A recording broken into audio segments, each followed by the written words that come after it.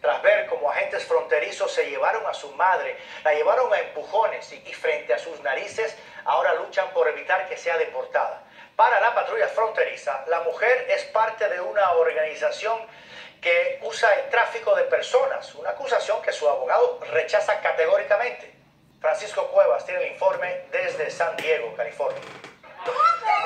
El video ha sido visto en todo el mundo por cerca de 10 millones de personas. Residentes de National City lo califican como inhumano e injusto, especialmente para las tres hijas ciudadanas de la arrestada que presenciaron el incidente. La manera en que hicieron eso no, no es correcto, de dejarlas ahí nomás, así. En el video se ve como la mujer, quien vive en el país desde los 15 años, es arrestada sorpresivamente frente a sus hijas por agentes uniformados y encubiertos. Estoy enojado, estoy hasta el tope de otro caso en nuestra comunidad donde familias son separadas. La patrulla fronteriza en un comunicado dijo que la detenida, Perla Morales Luna, fue identificada como parte de una organización transnacional de contrabando, algo que su abogado niega rotundamente. Nosotros no tenemos ninguna información que eso está correcto y tampoco tenemos ninguna información que ellos han procesado ningún caso criminal contra ella.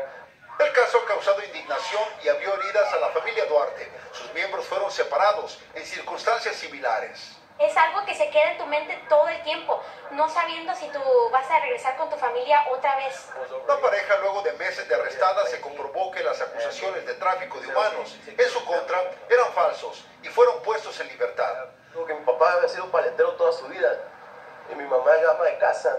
Entonces, fue, fue algo que digo, ¿dónde sale eso?